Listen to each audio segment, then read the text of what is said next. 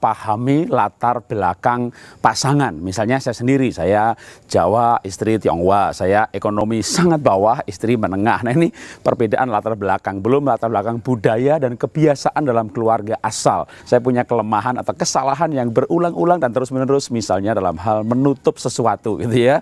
Buka laci, ambil sendok lupa nutup, buka lemari, ambil baju lupa nutup lagi, ambil uh, barang dari sebuah lemari, lupa lagi nutupnya, buka garasi nggak ditutup juga. Wah, jadi saya ini dalam hal tutup menutup gitu, kesalahan itu seperti berulang-ulang, ulang-ulang-ulang. Nah, sempat istri saya juga sulit memahami dan sulit mengampuni kalau kesalahan itu berulang-ulang dan hal yang sama gitu ya. ya apa sih susahnya nutup laci gitu kan? Ya saya bilang nggak susah lah. Kenapa nggak ditutup? Lupa. Kenapa sih pintu nggak dikunci gitu kan? Ya lupa gitu. Nah, akhirnya saya buat istri saya memahami latar belakang saya.